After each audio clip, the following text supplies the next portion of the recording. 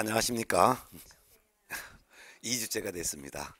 어, 첫째 주는 우리 공인중개사법령의 총칙 부분으로서 용어의 정의, 그 다음에 이제 공인중개사 제도 이런 것을 이제 받고, 어, 이제 둘째 시간은 72페이지가 되겠습니다.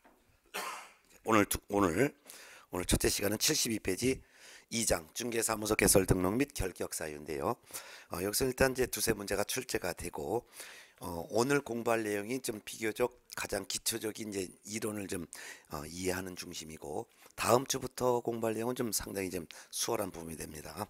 자 그럼 72페이지 일단 제목을 써드릴게요. 네. 중개사무소 개설 등록 및 어, 등록 등의 결격 사유인데요. 일단 등록이라는 것은 개업 공인중개사가 되는 거죠. 우리가 용어의 정의에서 개업 공인중개사란 이 법에 의하여 중개사무소의 개설 등록을 한자를 말한다. 이렇게 개공이란 등록을 한자를 말한다. 이렇게 용어의 정의 공부했죠. 그래서 등록이란 결국은 개공이 되는 것을 말합니다.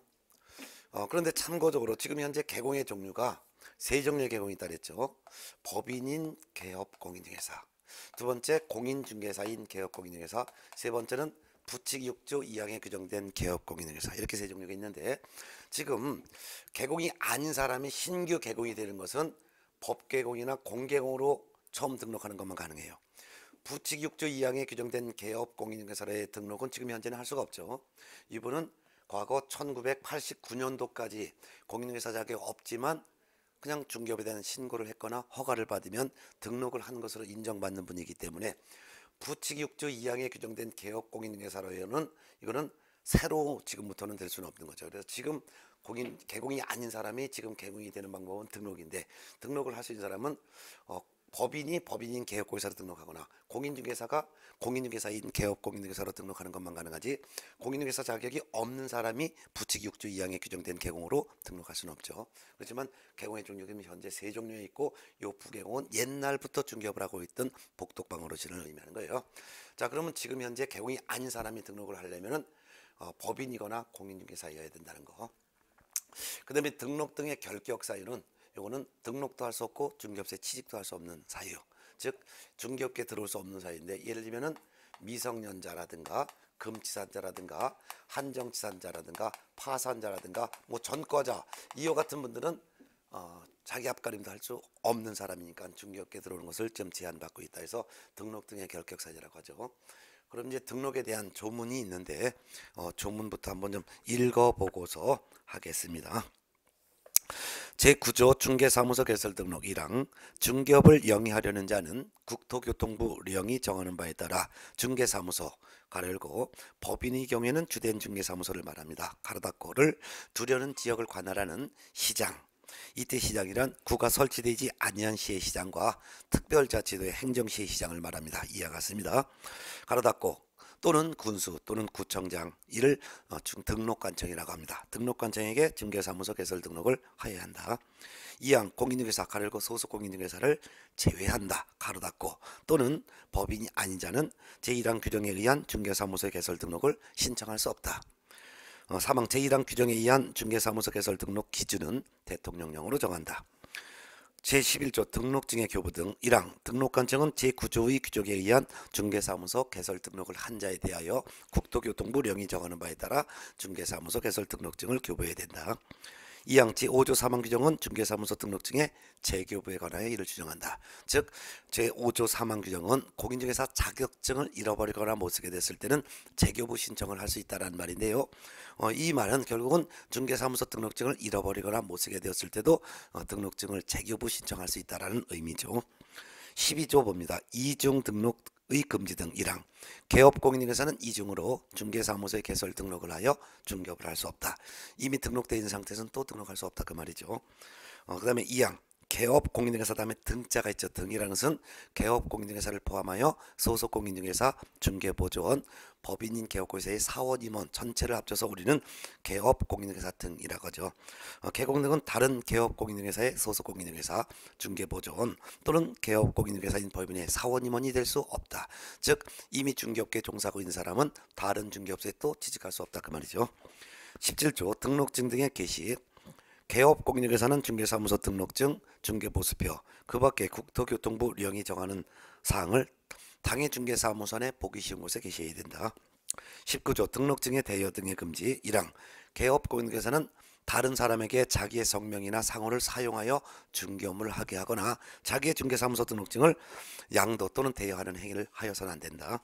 이항 누구든지 다른 사람의 성명 또는 상호를 사용하거나 다른 사람의 중개사무소 등록증을 양수대여 받아 이를 사용하는 행위를 하여서는 안 된다. 이런 규정을 뒀죠. 자 그러면 이제 조문은 이제 전체적으로 내용을 봤으니까 하나하나씩 보는데 어, 73쪽 등록 신청 일반은 어, 강의를 생략합니다. 요거는 이제 어, 기초 입문 과정과 1, 2월 과정 때 설명 들었기 때문에 등록 신청 일반은 여러분이 한번 뭐 읽어보든가 말든가 하시면 될 거예요. 기초 상식이니까. 그럼 바로 어디 넘어가냐면 74쪽 양가로 4번 등록 신청자 및 등록 관청부터 이제 공부를 하게 됩니다. 여기부터 시험 문제가 나오는 거예요.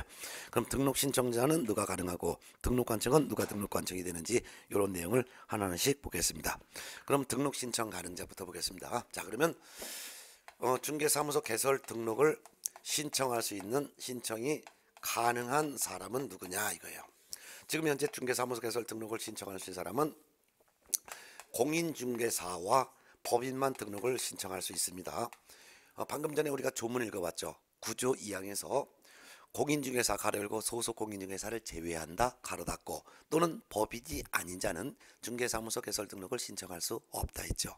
결국은 등록을 신청할 수 있는 사람은 공인중개사와 법인만 등록을 신청할 수 있다 그 말이죠. 결국은 이 공인중개사라는 사람은 어, 일반 공인중개사만 등록 신청할 수 있다는 뜻이에요. 아무리 공인중개사라 하더라도 이미 등록을 한 공인중개사인 개업 공인중개사는 이중 등록을 할 수가 없으니까 아무리 공인중개사 자격이 있는 사람이라 하더라도 이미 등록돼 있는 사람은 또 등록할 수 없으며 또한 소속 공인중개사도 등록을 신청할 수 없죠. 왜냐면 둘 이상의 사무소에 소속하는 것을 허용할 수 없으니까. 따라서 이미 중개업에 종사하고 있는 자들은 어, 또 등록할 수가 없으니까 어, 이미 공인중개사 자격이 있다 하더라도 다른 개업 공인사에 소속하여 일을 하고 있다면 등록을 할 수가 없는 거죠. 그렇기 때문에 등록을 신청할 수 있는 공인중개사란 결국 자격을 취득했을 뿐 전혀 중개업에 종사하고 있지 않고 자격증 썩 켜먹고 있는 일반 공인중개사만 등록을 신청할 수 있는데 이때 공인중개사는 우리나라 공인중개사도 등록할 수 있고 내국인 또한 외국인인 공인중개사도 등록을 할 수 있죠. 그래서 외국인도 등록을 신청할 수 있다 이거예요. 네.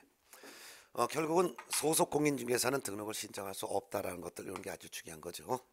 자 그러면 우리나라 공인중개사와 외국인 공인중개사로서 놀고 있는 공인중개사만 등록 신청할 수 있다는 거예요. 네, 특히 주의할 것은 지금 현재 놀고 있는 공인중개사라 하더라도 어, 중개사무소 개설 등록을 했어요. 그럼 개공이 된 거죠. 그런데 업무 정지 받았어요.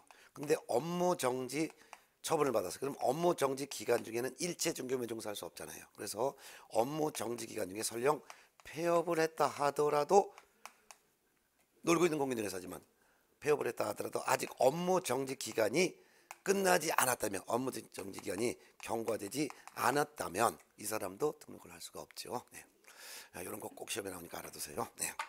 어, 참고적으로 공인중개사 자격이 없는 사람은 아무리 변호사라 하더라도 등록을 할 수가 없고 놀고 있는 공인중개사와 법인만 등록을 할 수 있다라는 거 이렇게 알아두면 되겠죠. 네. 그러면 등록을 하는데 이 등록 누구한테 등록하냐 이게야. 등록관청에다 등록합니다. 등록관청이라는 것은 어, 오른쪽에 75쪽 반가로 2번에 나와 있는데 중개사무소를 두려는 지역이 소지하는 시장이나 군수나 구청장이 등록관청이 되는 거죠. 이때 시장은 구가 설치되어 있지 아니한 시의 시장만 등록관청이 되고 어느 시의 지역에 구가 설치되어 있다면 이때는 구청장이 등록관청이 해야 된다는 거 꼭 시험에 나오니까 알아두셔야 돼요. 따라서 시험 질문상에 구가 설치되어 있지 아니한 시의 시장인 경우에는 시장인 등록관청이 된다 하면 맞지만 구가 설치된 지역이 구가 설치된 지역에 있는 시의 지역에 사무소를 두는 경우에는 시장이 등록관청이 된다. 구가 설치되어 있는 시의 지역의 경우 구청장이 등록관청이 된다 하면 되는 거죠. 이때는 누가 등록관청이 되는 거예요? 구청장이 등록관청이 되는 거지 시장이 등록관청이 되는 게 아니라는 거. 그래서 시장인 등록관청이 되는 경우는 그 시에 구가 없을 때만 시장이 등록관청이 되는 것이고 어느 시의 지역에 구가 설치되어 있다면 이때는 구청장이 등록관청이 된다는 걸 꼭 기억해 두셔야 합니다. 자 그러면 중개사무소 개설 등록이 되는 절차가 그 밑에 있어요. 그러면 등록 절차는 일단 등록 신청인이 등록 기준을 갖춰야 돼요. 이 등록 기준을 갖춰야지만 등록 신청할 수 있는데 이 등록 기준이 매년 시험 나오니까 꼭 알아두는데 이 등록 기준은 무슨 령에 규정돼 있다 그랬냐면 대통령령으로 정한다 했었죠. 어, 우리가 어, 지난 시간에 공인중개사 법령은 법과 령으로 구성되어 있는데 령은 명령이죠. 명령은 대통령령과 국토교통령 두 가지가 있죠. 대통령령으로 정하는 기준 무조건 출제한다 그랬죠. 그래서 대표적으로 세 가지 등록 기준, 그다음에 사무소 설치 기준, 과태료 기준. 그래서 대통령령으로 정하는 기준 등사과, 등록 기준, 사무소 설치 기준, 과태료 기준은 대통령령으로 정한다 했으니까 꼭 알아둬야 되겠죠. 예. 대통령령에 보니까 등록 기준은 어떤 것을 갖춰야 된다라고 돼 있어요. 이렇게 알아두세요. 근데 참고적으로 공인중개사가 등록을 신청하고자 하건 법인이 등록을 신청하고자 하건 대통령령에 규정되어 있는 등록 기준을 갖춰야지만 등록을 할 수 있는 게 원칙이에요. 근데 다만 참고적으로 다른 법률의 규정에 따라 중개업을 할 수 있는 법인 있죠. 법인 중에서도 비- 비교해 볼게요. VS는 비교해요. 다른 법령에 따라 중개업을 할 수 있는 법인. 우리는 이를 줄여서는 무슨 법인? 특수법인이라고 불렀죠. 특수법인은 공인중개사 법령에 규정된 등록 기준을 적용하지 않습니다. 적용하지 않기 때문에 등록 기준 갖추지 않아도 등록을 해주는 거죠. 특히 특수법인 중에서 대표적으로 지역농업협동조합법 12조에 규정되어 있는 농협은 농업협동조합은 중개사무소 개설 등록을 하지 않고도 농지에 대한 매매나 농지에 대해서 농지에 대해서 매매나 교환이나 임대차에 대한 중개업을 할 수가 있습니다라고 농업협동조합법 12조에 규정을 해놨죠. 그렇기 때문에 다른 법률의 규정에 따라 중개업을 할 수 있는 범위는 어, 등록 기준 자체를 적용하지 않아도 등록 신청하면 다 등록을 해준다라는 것을 꼭 시, 시험에 나오니까 알아두셔야 되겠죠. 예. 자 그러면 공인중개사가 갖춰야 될 등록 기준은 뭐가 있고 법인이 갖춰야 될 등록 기준은 뭘 있는지 알아보는데 법인도 어, 우리나라에서 설립 등기가 돼 있는 내국 법인도 등록을 신청할 수 있고 외국에 주된 영업소가 있는 법인 즉 우리는 외국 법인이라고 하죠. 이 외국 법인도 등록을 할 수 있는데 우리나라 법인이건 외국 법인이건 어떤 등록 기준을 갖춰야 될지 그 등록 기준이 대통령령에 규정되어 있는데 이 등록 기준을 꼭 가- 기억해 두셔야 되겠죠. 그러면 교재 76페이지로 넘어가면 공인중개사가 등록을 하고자 할 때 갖춰야 될 등록 기준인데요. 어, 우리나라 공인중개사건, 우리 외국 공, 외국 공인중개사건 전제 조건으로 당연히 공인중개사 자격은 보유하고 있어야죠. 어, 자격 보유하고 있는데 중개 업무에는 종사하고 있지 않고 놀고 있어야 되겠죠. 또한 아무리 공인중개사 자격 보유하고 놀고 있어도 등록 등의 결격 사유에 해당되지 않아야 되죠. 즉 미성년자 전과자가 아니지만 등록 있는 거죠. 요 같은 전제 조건 하에서 두 가지 기준을 갖추는데 이 공인중개사 갖춰야 될 두 가지 기준을 꼭 기억해 두셔야 돼요. 그 첫 번째가 바로 실무 교육을 이수해야 되죠. 실무 교육. 실무 교육을 이수해야 되는데 실무 수습을 포함해서 실무 교육을 받아야 되죠. 또 하나는 중개사무소라는 중개사무소 건물을 확보하고 있어야 합니다. 요 두 가지 기준을 갖춰야 돼요. 그 중에서 이제 이 기준은 이제 정확하게 이해해 두시는데 어, 등록을 신청하는 사람이 만일 A라고 하자할게요. 그럼 등록을 신청하는 우리나라 공인중개사건 외국인이건 실무교육과 실무수습을 받아야 되는데 언제 받아야 되냐면 등록 신청일 전 1년 이내 등록 신청일 전 1년 이내 받아야 되죠. 따라서 오늘 등록 신청한다면 실무교육 실무수습을 오늘로부터 역산해서 1년 이내 받아놨어야 된다는 거예요. 따라서 2년 전에 실무교육 받았다 하면은 다시 받아야 된다는 거죠. 그래서 등록 신청일 전 1년 이내에 누가 실시합니까? 시도지사가 실시하는 실무교육을 받아야 돼요. 자, 요걸 갖다가 등록관청이 실시하는 실무교육을 받아야 한다든가 또는 국토교통부 장관이 실시하는 실무교육을 받아야 한다. 이렇게 바꿔나오면 틀린다는 거 꼭 알아둬야 되겠죠. 네. 아, 근데 실무교육을 받아야 되는 것이 원칙이지만 다만 실무교육을 예외적으로 받지 않, 않아도 즉 면제받는 경우도 있어요. 실무교육 실무수습을 받지 않아도 등록을 신청할 수 있는 공인중개사가 있죠. 면제되는 사람이 있어요. 두 사람이 있죠. 첫 번째는 과거에 중개사무소 개설 등록을 했어요. 그럼 등록을 했다는 것은 실무교육 받았으니까 등- 어, 등록이 됐겠죠. 근데 등록을 하여 중개업을 하다가 스스로 폐업을 했어요. 폐업하고 그냥 놀고 있는 공인중개사가 되겠죠. 근데 폐업했다가 1년 이내에 1년 이내에 다시 중개사무소 개설 등록을 신청을 하려는 자는 실무교육을 면제받습니다. 안 받아도 등록 시작할 수 있죠. 두 번째는 과거에 소속 공인중개사로 근무했었습니다. 소속 공인중개사가 되려도 미리 실무교육 받아야 되죠.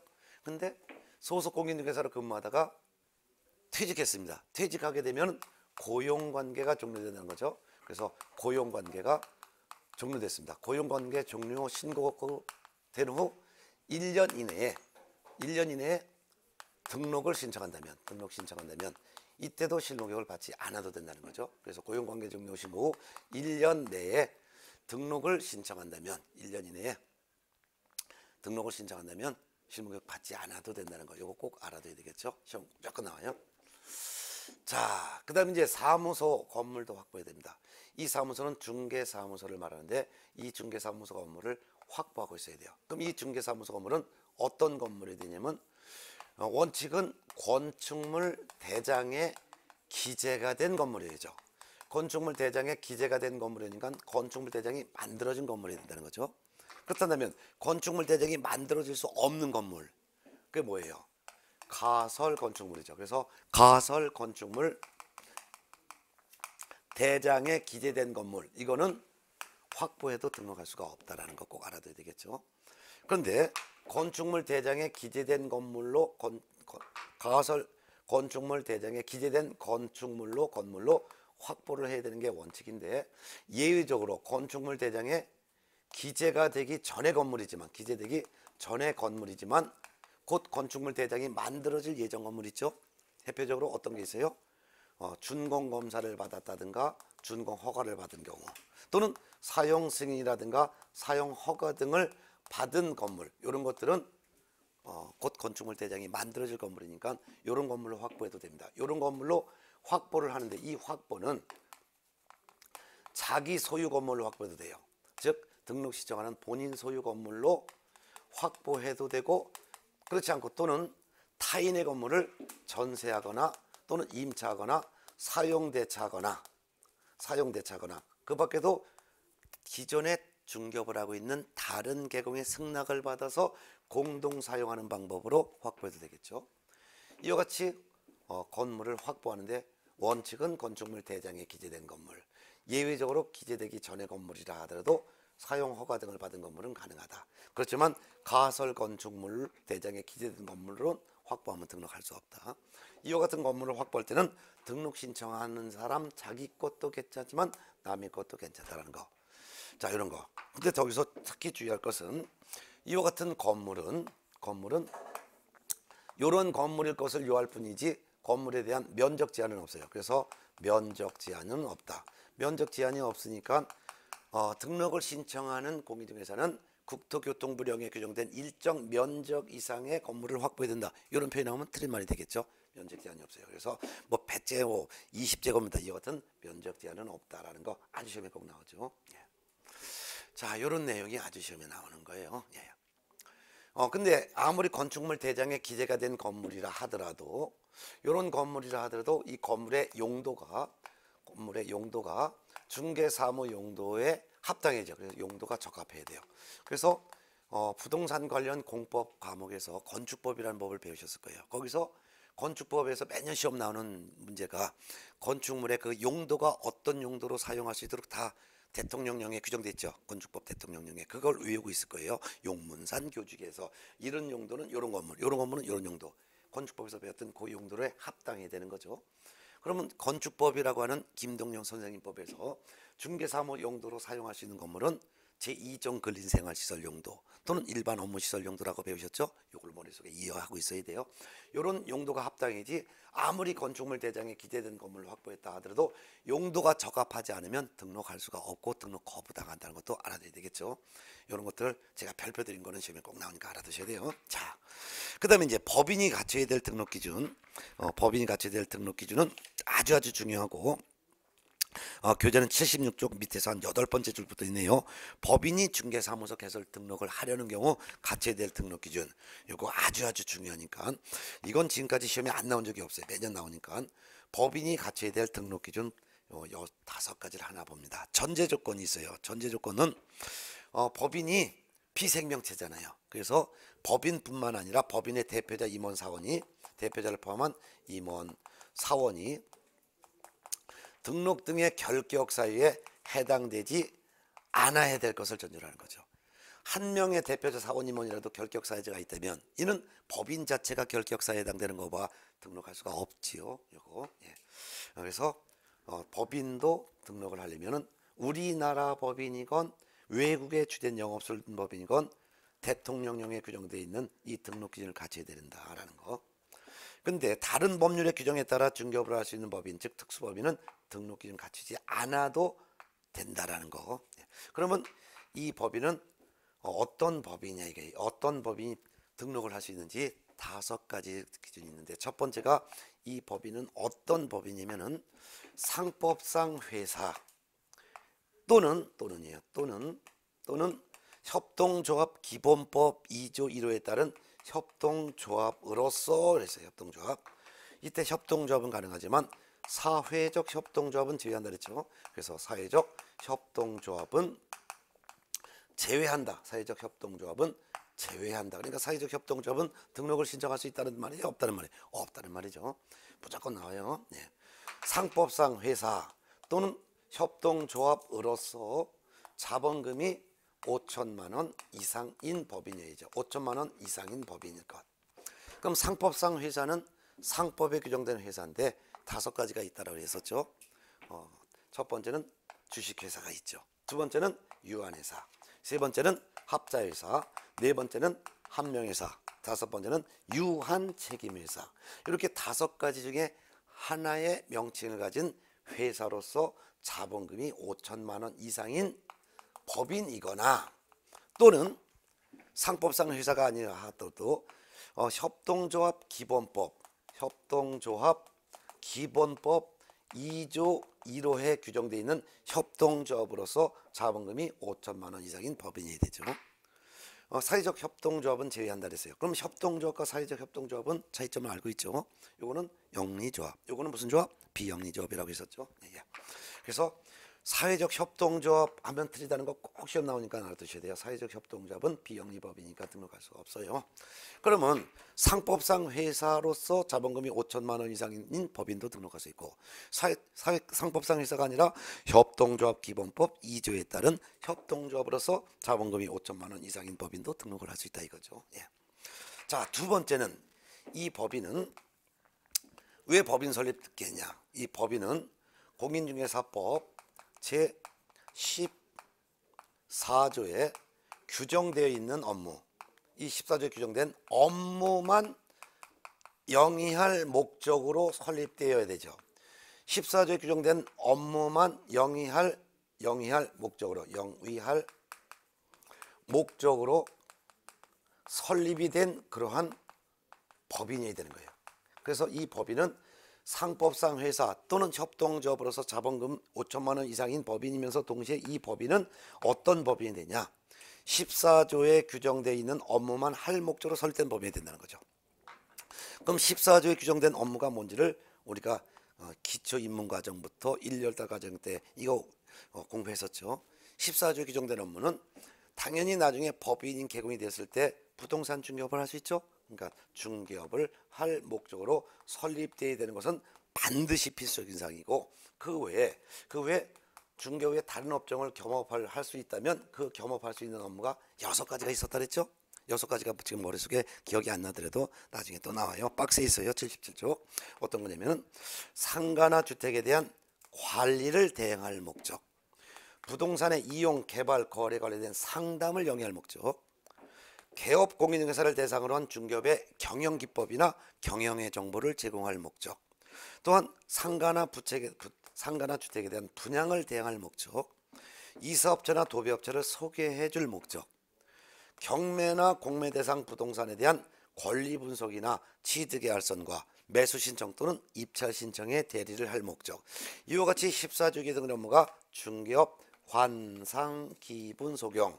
이와 같이 중기업 외에 겸업은 관상 기본 소경인데 요와 같은 업무만 할 목적으로 설립된 법인이지만 등록할 수 있다 이거죠. 그러니까 아무리 상법상 회사로서 자본금이 5천만 원 이상인 법인이고 또는 아무리 협동조합으로서 자본금이 5천만 원 이상인 법인이라 하더라도 이와 같은 업무가 아닌 다른 업무를 영위할 목적으로 설립된 법인이라면 등록할 수 없죠. 그러니까 어, 중개업 및 건축업을 영위할 목적으로 설립했다든가 중개업 및 감정평가업을 영위할 목적으로 설립됐다 하면 등록할 수가 없죠. 왜? 건축업이라든가 감정평가업은 14조에 규정되지 않은 업무니까 꼭 알아두셔야죠. 또한 14조에 규정된 업무만 영위할 목적으로 설립된 법인 이렇게 되지 이거를 중개업만을 영위할 목적으로 설립된 법인 것 이런 식으로 나오면 틀리는 거죠. 왜? 중개뿐만 아니라 관상, 기분, 소경 이와 같은 업무를 영위할 목적으로 설립되어도 등록을 할 수 있으니까요. 이런 거 꼭 알아둬야 되겠죠. 네. 자, 그다음에 이제 세 번째 법인의 요건 중에서 세 번째는 법인의 대표자는 반드시 공인중개사야 되죠. 네. 대표자라는 것은 어, 이와 같은 상법상 회사의 대표이사, 협동조합의 조합장을 대표자라고 표현하는 거예요. 그 다음에 대표자를 제외한 사원이나 임원, 사원이나 임원의 3분의 1 이상은 또한 공인중개사이죠. 그럼 임원이라는 말은 어, 이와 같은 회사나 또는 협동조합의 이사와 감사를 말하는 것이고 또한 사원이라는 것은 한 명회사, 합자회사, 합자회사 한 명회사의 무한책임 사원, 즉 이사 감사를 일컬어서 우리는 사원이라고 하기 때문에 사원이란 말이나 임원이란 말이나 같은 말인데 쉽게 해서 이사 감사를 합쳐서 사원이라고도 하고 임원이라고 하죠. 이분들의 3분의 1 이상도 또한 공인중개사야 되겠죠. 예를 들어서 대표자가 한 명이다. 그러면 대표자 공인중개사이죠. 근데 대표자를 제외한 사원이나 임원이 한 명이다. 그러면 한 명의 3분의 1 이상도 공인중개사이죠. 한 명. 왜? 사람은 자를 수가 없으니까. 두명 해도 한 명. 세 명에도 한 명은 공인중개사야 되는 거예요. 그럼 일곱 명이라면 일곱 명의 3분의 1 이상은 세 명이 공인중개사야 된다는 거죠. 이런 건 어, 숫자에 대해서 맞춰서 출제도 해요. 그래서 어느 법인의 대표자를 제외한 임원 사원이 일곱 명이라면 두 명이 공인중개사야 된다. 하면 틀린 말이죠. 그두 명이 아니라 세 명. 사람은 짤 수가 없으니까 이렇게도 시험 문제 나오는 거예요. 예. 자, 네 번째는 대표자를 포함하여 심표는 포함해요. 대표자를 포함하여 사원, 다른 말로는 임원, 전원이 이 사람들 전원이 다 실무 교육을 받아야 돼요. 이 실무 교육은 실무 수습을 포함해서 받아야죠. 그것도 언제? 등록 신청 일 전 1년 이내에 시도지사가 실시하는 실무 교육을 받아야 돼요. 실무 수습 포함해서. 그렇지만 다만 아까 공인중개사가 실무 교육 면제받는 거 똑같아요. 즉 예전에 개공으로 등록했다가 폐업 후 1년 이내에 다시 대표자 사원 임원이 되는 경우에는 실무교육 실무수 면제받고 과거에 소속 공인중개사로 근무하다가 고용관계 종료 신고 후, 즉 퇴직 후 1년 이내에 등록을 신청을 한다든가 또는 이와 같이 고용관계 종료 신고 후 1년에 대표자 사원 임원이 다시 된다면 실무교육을 면제받는다는 거죠. 똑같습니다. 네. 자 다섯 번째는 이 법인도 등록하기 위해서는 중개사무소라는 건물을 확보해야 되겠죠. 이 중개사무소 건물을 확보해야 된다는 것도 공인중개사가 건물 확보하는 것과 똑같습니다. 건물은 원칙적으로는 건축물 대장에 기재가 된 건물이 된다. 아무리 건축물 대장에 기재된 건물이라 하더라도 건축법이라는 법령에 용도가 적합해야 된다. 그렇지만 가설 건축물 대장에 기재된 건물을 확보하면 등록할 수 없다. 건축물 대장에 기재되기 전의 건물이라 하더라도 준공 검사나 준공 허가, 사용 승인, 사용 허가 등을 받은 건물은 가능하다. 또 이때 확보하는 방법도 법인 소유 건물로 확보해도 되고 타인의 건물을 전세, 임차, 사용 대책, 기타 등등 방법도 가능하다. 이때 건물 면적 제한이 없다. 이런 거 그대로 적용되는 거죠. 예. 이 같은 다섯 가지 기준은 해마다 출제되고 출제가 안 된 적은 한 번도 없으니까 반드시 다 머릿속에 박아 두셔야 되는 거죠. 3월, 4월부터는 이제 암기가 시작된다 그랬죠. 그래서 어, 이해한 거를 갖다가 암기와 응용이 들어가야 되는 거예요. 예. 자, 이런 것을 다 확보해야지만 등록할 수 있는 거예요. 자, 그럼 등록 기준 갖췄어요. 그러면 등록해달라고 신청을 해야 되는데 등록 시정은 78페이지에 있습니다. 78페이지 양가로 2번 중개사무소 개설 등록 신청이에요. 자, 이와 같은 등록 기준을 갖췄어요. 공인중개사도 등록 기준 갖췄다. 법인도 등록 기준 갖췄다. 하면은 등록 기준을 갖췄으니까 등록해달라고 신청을 해야 되겠죠. 그래서 등록해 주세요라고 등록 신청을 하는데 이 등록 신청은 누구한테 등록 신청하냐면 등록관청에다가 등록 신청하는 거예요. 어, 등록관청은 우리가 아까 했죠? 어디가 등록관청이라 했어요. 등록을 하려면은 공인중개사가 법인인 건 건물 확보해야 되잖아요. 이 중개사무소는 건물이 소재하고 있는 지역이 있는 중개사무소 건물 소재지가 있는 시장에게 등록 신청하거나 군수에게 등록 신청하거나 또는 구청장에게 등록 신청을 하라 했으니까 시장, 군수, 구청장이 등록관청이에요. 이때 시장은 이 시에 구가 설치되지 아니했을 때만 시장이 등록관청이고 어느 시적에 구가 설치되면 구청장한테 등록 신청하는 거죠. 자, 그럼 등록 신청할 때는 어떻게 등록 신청하느냐? 중개사무소 개설 등록 신청서라는 서식이 있죠. 우리가 기초 1월달 과정에도 제가 그림을 그려가면서 설명했는데 다시 한번 합니다. 자, 등록 신청하는 방법은 중개사무소 개설 등록 신청서라는 서식이 있어요. 등록 신청서에다가 등록 신청하는 사람의 성명, 사무소의 소재지 당연히 기록하고 그 다음에 종별도 표시해야죠. 즉 공인중개사가 등록 신청하면은 공인중개사가 법인이 등록 신청한다면 법인이 등록 신청한다 이렇게 표시하는 거죠. 어, 그리고 사무소 소재지를 만약 서울특별시 동작구 노량진동에 있다라고 한다면 어, 동작구청장이 등록관청이니까 동작구청장 귀하 이렇게 해서 내는 거죠. 자, 근데 등록 신청할 때 인장 등록 신고를 같이 할 수 있어요. 그러면 인장 등록 신고도 같이 할 수 있으니까 등록 신청서 소식에는 인장 등록 신고서도 같이 있어요. 그러면 등록 신청서를 낼 때는 여기다 이렇게 체크. 인장 등록도 같이 안 내면 인장 등록 신고서 옆에서 체크해 가지고 어, 등록 신청서 우측 하단에 우측 하단에 등록 인장을 찍는 거죠. 여기에 도장을 찍어서 같이 제출하면 이게 바로 등록 신청하는 방법이에요. 그래서 등록 신청하는 방법은 등록 신청서를 등록관청에 제출하는 거예요. 근데 이 제출할 때 등록관청을 방문해서 제출해도 돼요. 근데 전자문서 제출도 가능합니다. 그래서 등록 신청할 때 전자문서 제출도 가능하다는 게 이번에 개정됐다 했으니까 꼭 알아둬야 되겠죠. 근데 등록 신청서만 내느냐 아니죠. 등록 신청서에다가 두 가지 서류를 일단 기본적으로 제출합니다. 근데 과거에는 등록 신청할 때 실무 교육 수료 확인증 4번, 실무 교육 수료증 4번을 제출했었어요. 근데 실무 교육 수료증 4번은 이거는 법이 개정이 됐죠. 그래서 개정이 돼서 이거는 개정이 됐습니다. 그래서 꼭 시험에 나오는데 이거는 실무 교육을 시도지사가 실시하는 게 원칙이죠. 그러면 등록관청이 시도지사에게 직접 실무 교육을 확인 받았는지 이거 등록 신청하는 사람이 실무교육 받았는지 직접 확인할 수 있기 때문에 제출 안 하는 거예요. 또 실무교육 업무를 어, 협회나 대학 등에 위탁할 수가 있죠. 그러면 실무교육 업무를 위탁했다면 실무교육 업무를 위탁을 했다면 실무교육 어, 업무를 위탁 받은 자가 실무교육 업무를 위탁 받은 자가 전자적으로 확인할 수 있도록 전자적으로 확인할 수 있도록 조치를 했다면 즉 등록관청이 실무교육 업무를 위탁받은 대학 등에 전자적으로 확인할 수 있도록 조치를 했다면 이때는 실무수료증을 이때는 실무교육 이수확인증 즉 실무교육 수료증 이거를 제출을 하지 않습니다. 제출하지 않아요. 네. 그렇기 때문에 실무교육 수료증은 예전에는 제출하도록 됐는데 이거는 개정이 돼 갖고 제출한다 안 한다. 제출하지 않는다라는 거. 어떤 경우에 제출하지 않는다?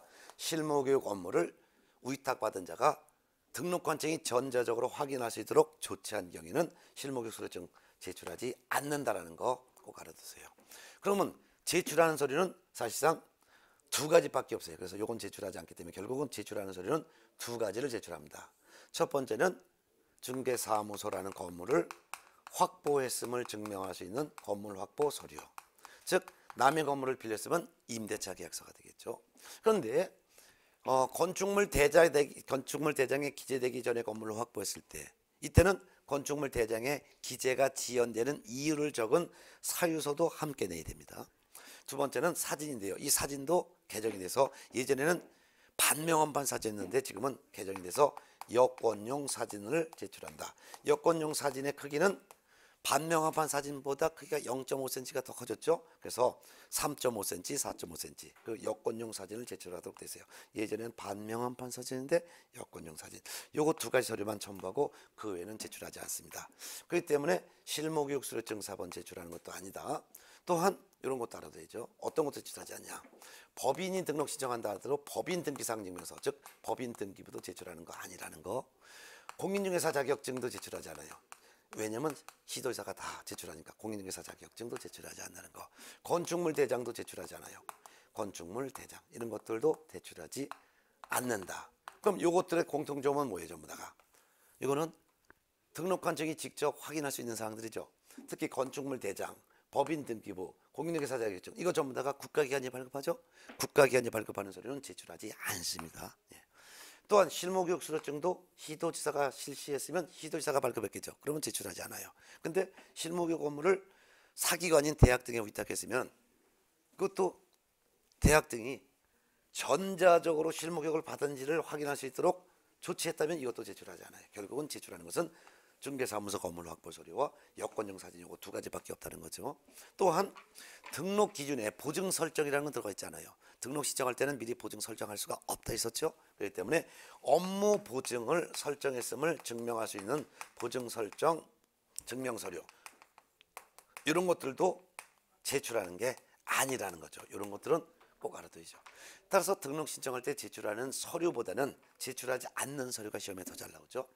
자, 이런 걸 갖다가 제출하는데 이와 같은 서류를 방문 제출해도 되지만 또는 모두 가능하다. 전자문서 제출도 가능하도록 됐다라는 거. 네. 근데 이때 신청서를 낼 때 공짜가 아니라 당의 지방자치단체 조례에서 정하는 수수료도 납부를 해야 되죠. 이때 수수료는 만일 사무소를 동작구 노량진동에 있는 건물로 사무소를 둔다면 동작구청장한테 제출하고 동작구 조례에서 정하는 수수료를 납부해야 되는 거죠. 조례가 정하는 수수료를 납부하는 거지 국토교통부령이 정하는 수수료를 납부해야 된다. 이렇게 바꿔서 출제하면 틀리는 거죠. 그래서 이 과목은 내용이 쉬운 대신 완전히 씹어 삼킬 정도로다가 머릿속에 외워두셔야지 외워두지 않으면은 어, 조금만 틀어놓으면 점수가 잘 안 나와요. 그래서 과거 8회 시험과 15회 시험에서는 어, 민 1차 과목, 2차 과목 다 합쳐서 가장 점수가 낮은 과목이 공인중개사법령 및 실무 과목이었죠. 그래서 8회 시험 때는 공인중개사법령 및 실무라는 이 과목이 평균 점수가 30점이 안 됐죠. 최고 점수가 62.5였었어요.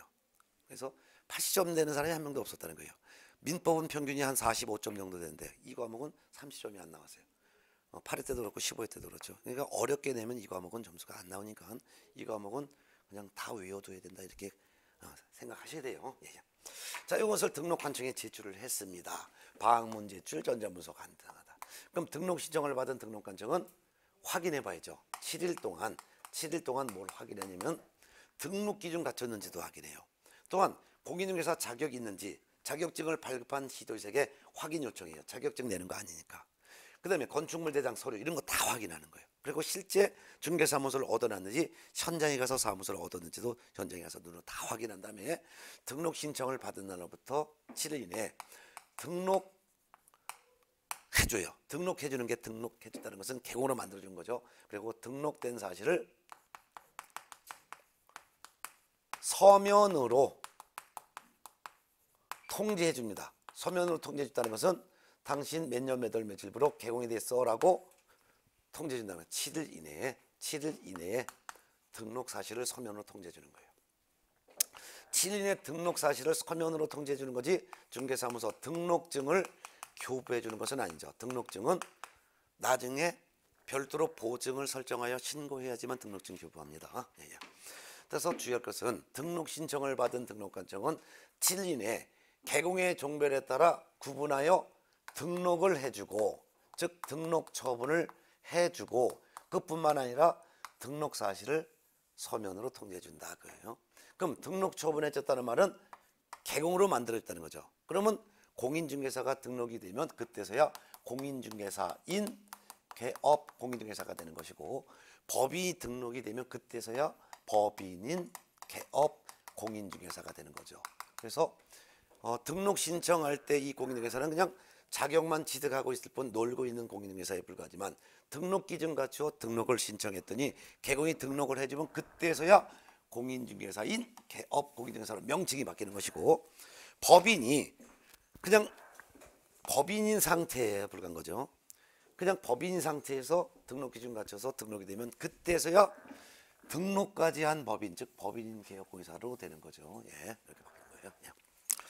자, 특히 등록이 됐다는 것은 등록증을 줬다는 뜻이 아니라 등록관청이 가지고 있는 장부인 부동산 중개사무소 등록대장이라는 장부에 어, 개공으로 이름을 올려주는 것을 우리는 등록해준다 이렇게 표현했다 그랬죠. 그래서 어, 교재 어, 87페이지 부동산 중개사무소 등록 대장이라는 장부가 있을 텐데 거기다가 개공으로 이름을 올려주는 거 그게 바로 등록됐다는 거예요.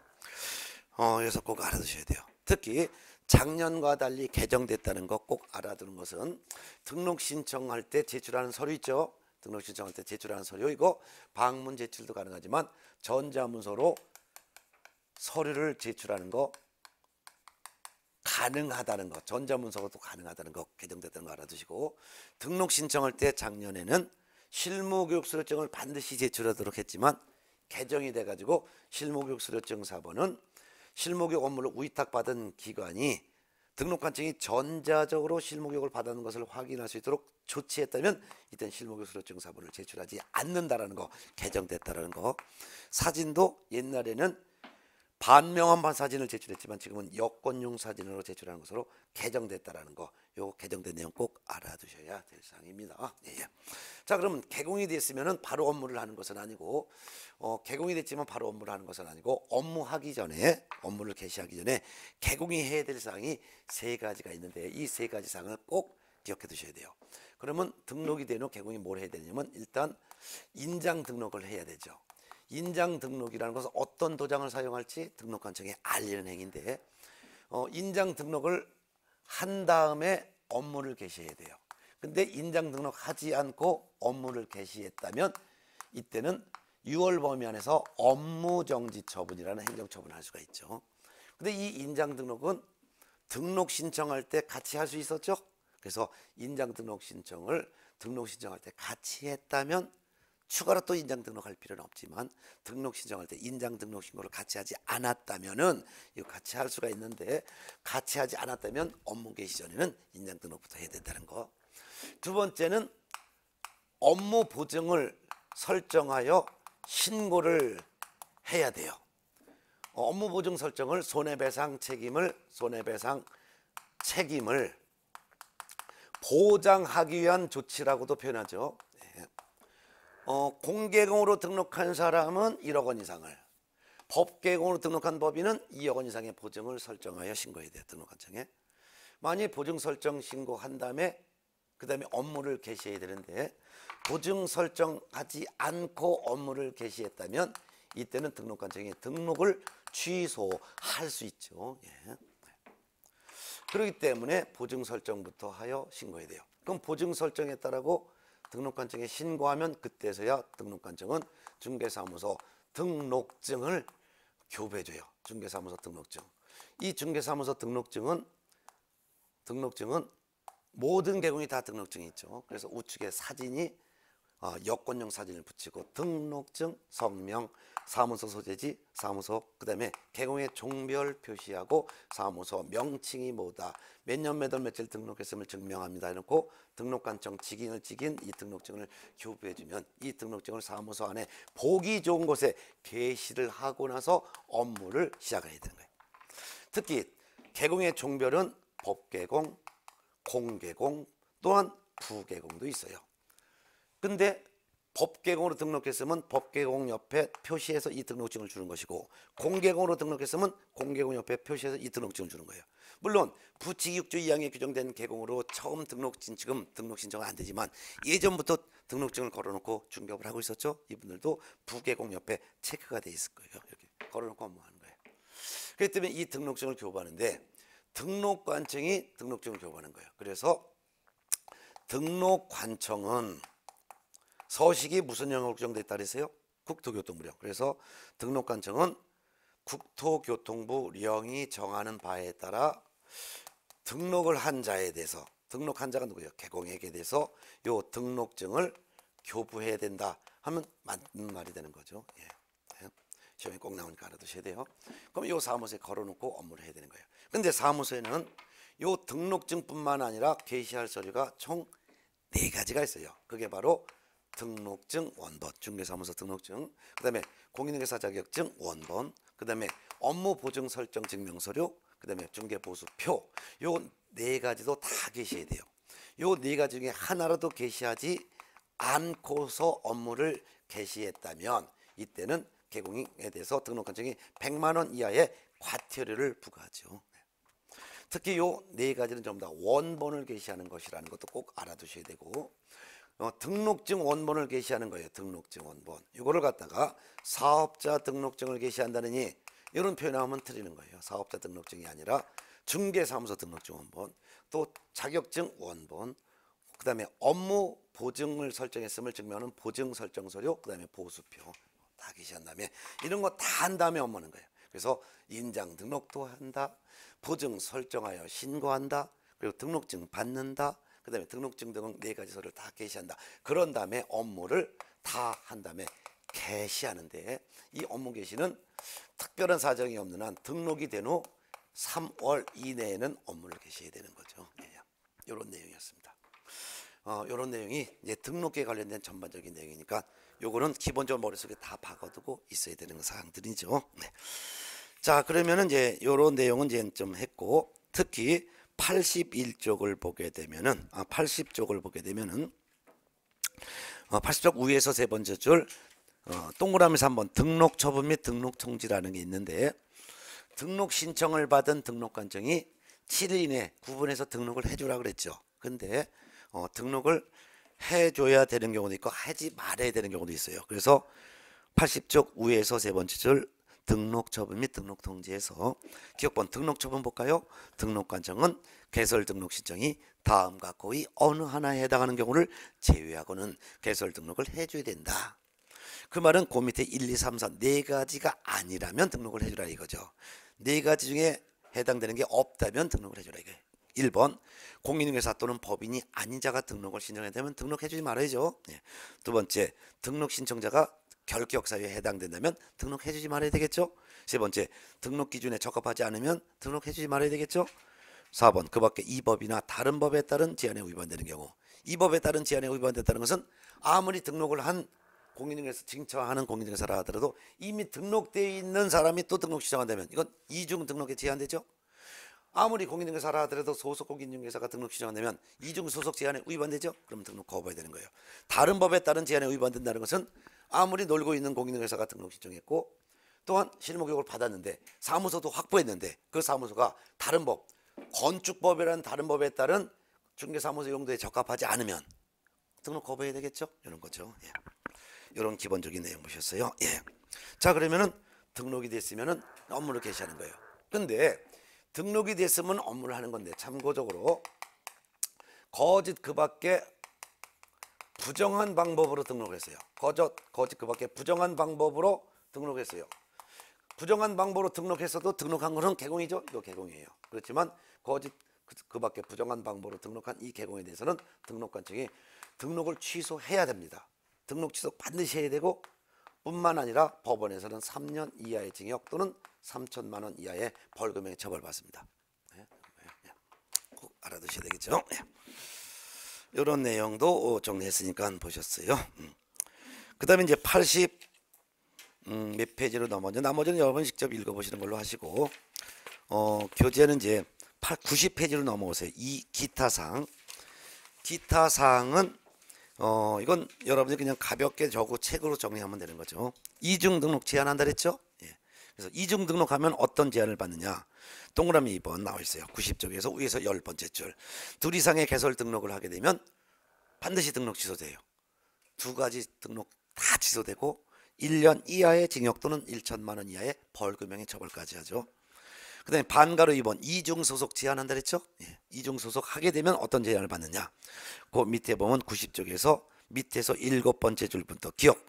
개공이 다른 개공의 사무소에 또 소속되면 등록 취소 처분도 받고 1년 이하의 징역 또는 1천만 원 이하의 벌금형도 받아요. 근데 90쪽 밑에서 다섯 번째 줄 니은번 소속 공인중개사가 다른 개공에 또 소속했을 때는 이때는 어, 자격 정지 처분도 받을 수 있고 1년 이하의 징역 또는 1천만 원 이하의 벌금형 처벌도 받아요. 근데 90쪽 맨 밑에 줄 디귿번 중개보존이 다른 계공에 또 중개보존이 됐다면 이때는 1년 이하의 징역 또는 1천만 원 이하의 벌금형 처벌을 받습니다. 중개보존은 행정 처분은 받을 게 없죠. 네. 그 다음에 91쪽 등록증의 대여 등의 금지 이것도 아까 좀 읽어봤죠. 등록증 성명상호를 남한테 양도 대여한 사람은 어떻게 되냐 90쪽 91쪽 위에서 여섯 번째 줄 등록 취소 처분도 받고 1년 1천만.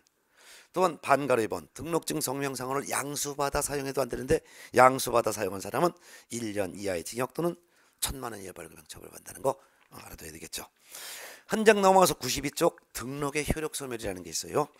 어, 등록의 효력은 소멸이 됐다는 것은 개공이 아닌 상태가 됐다 그 말이죠. 등록의 효력이 소멸되는 사유는 세 가지가 있다라고 했습니다. 첫 번째는 92쪽 반가로 1번 개인인 개공이 사망했거나 법인인 개공이 해산되면은 사망 해산 즉시 등록의 효력이 소멸됩니다. 그렇지만 아직도 장부에 즉 부동산 중개사무소 등록 대장이라는 장부에는 개공이라고 이름이 올려져 있죠. 그 이름을 지우는 행위를 등록 취소 처분이라고 하는 거예요. 그래서 별도로 등록 취소 처분을 합니다만 사망 해산 즉시 등록의 효력은 소멸된다. 두 번째는 반가로 2번 등록 관청에 등록 취소 처분이 있어도 등록의 효력은 소멸된다. 등록 취소 처분이라건 방금 전에도 말씀드렸지만 등록증을 뺏었다는 뜻이 아니라 부동산 중개사무소 등록 대장이라는 장부에 개공을 이름을 지우는 것을 등록 취소 처분이라고 하는 거예요. 그 다음 폐업 신고 세 번째 폐업 신고하면은 등록 효력이 소멸되죠. 폐업 신고라는 것은 폐업 신고서를 내면서 사무소도 없애버리고 등록증도 반납하는 행위가 폐업 신고. 자 그 다음에 양가로 4번 무등록 중개업 등록하지 않고 중개업을 하는 사람을 무등록 중개업이라고 합니다. 자, 무등록 중개업을 하게 되면 어떤 처벌을 받습니까? 무등록 중개업을 하는 사람은 오른쪽 93쪽 한 위에서 한 여덟 열 번째 줄 동그라미 2번 무등록 중개업을 한 사람은 행정처분의 대상자는 아니지만 3년 이하의 징역 또는 3천만 원 이하의 벌금형의 처벌은 받는다라고 했었죠. 예. 그 밑에 판례 무등록 중개를 한 자와 무등록 중개업을 한 자, 그 다음에 무등록 중개업을 한 자에게 중개를 의뢰한 자, 요 판례가 나와 있는데 그 판례 별표를 해 놓으셔야 돼요. 예. 그래서 이 공인중개사법령 및 실무는 판례가 10문제 정도가 나와요. 민법도 40문제 중에서 36문제가 판례가 나오고 공인중개사법령도 한 10문제 이상의 판례가 나와요. 그래서 판례는 꼭 다 알아두셔야 되는데 이것도 제가 한번 예전에 정리해 드렸어요. 마지막 정리합니다. 판례. 무등록 중개를 한 자라는 것은 중개사무소 개설 등록하지 않고 한 번 중개한 거죠. 이거는 무등록 중개한 사람 처벌 안 받죠? 네, 처벌받지 않습니다. 그리고 무등록 중개를 한 자와 중개 의뢰인 간에 보수 지급에 대한 약정을 했을 때 이것도 과다하지 않는 범위 내에서는 유효라고 했었죠. 그러니까 보수 받아도 처벌받지 않다 했었어요. 그 다음에 무등록 중개업을 한 자, 등록을 하지 않고 중개업을 했다. 즉 보수받고 계속적 반복적으로 중개업을 한 자. 이와 같이 무등록 중개업을 한 자는 처벌받죠. 등록하지 않고 계속적 반복적으로 중개업을 한 자. 이거는 처벌받아요. 처벌은 3년 이하의 징역 또는 3천만 원 이하의 벌금형 중에 하나의 처벌받죠. 무등록 중개업을 한 사람과 의뢰인 간의 보수 지급에 대한 약정은 이건 강행법규에 위반돼서 무조건 무효라고 했었죠. 무효. 예, 무효. 그래서 이 차이점을 꼭 알아두세요. 무등록자와 중개은행의 보수 약정은 유효. 근데 무등록 중개 업을 한 자와 의뢰인 간의 보수 지급 약정은 무효. 그러니까 무등록 중개업자는 보수를 청구할 수 있는 보수 청구권이 있다 없다? 보수 청구권이 없다라는 거. 근데 무등록 중개를 한 자는 보수 청구권이 있다 없다? 있다. 보수 청구권이 있다라는 거 구분해서 알아두시고 무등록자에게 중개를 의뢰한 사람이건 무등록 중개업을 한 사람에게 중개를 의뢰했건 이 의뢰인은 처벌받지 않습니다. 그래서 의뢰인은 처벌받지 않는다. 그럼 처벌은 누구만 받느냐? 무등록 중개업을 한 자만 처벌받고 그 외에는 처벌받지 않는다. 이렇게 꼭 정리해서 알아두면 되죠. 요거 시험에 매년 나오는 판례니까 정리해 두셨습니다. 네. 자, 공인중개사 법령 및 중개실무라는 과목이 이렇게 내용이 쉽지만 그렇지만 자잘구리한 것들도 좀 다가 외워 두셔야 되고 그 외에 나머지 사항도 여러분이 책을 통해서 꼭 어, 외워두실 것을 당부합니다. 자 그러면 첫째 시간에는 중개사무소 개설 등록에 관련된 내용인데요. 어, 작년에 두 문제가 나왔어요. 올해도 두 문제가 나올 수 있는 요 전반적인 내용 제가 어, 요 정도는 꼭 외워두라고 제가 판서도 지우지도 않았어요. 그래서 사진 찍거나 뭐 여러분들이 어, 동영상을 통해서 공부하는 사람들은 요 정도는 꼭 머릿속에 다 외우고 있어야 되는 거예요. 최소한도 외워둬야 될 기본적인 사항이었어요. 자, 다음 시간에는 쉬었다가 90 쉬었다가 94페이지 등록 등의 결격 사유 요거 설명드릴게요. 예, 예.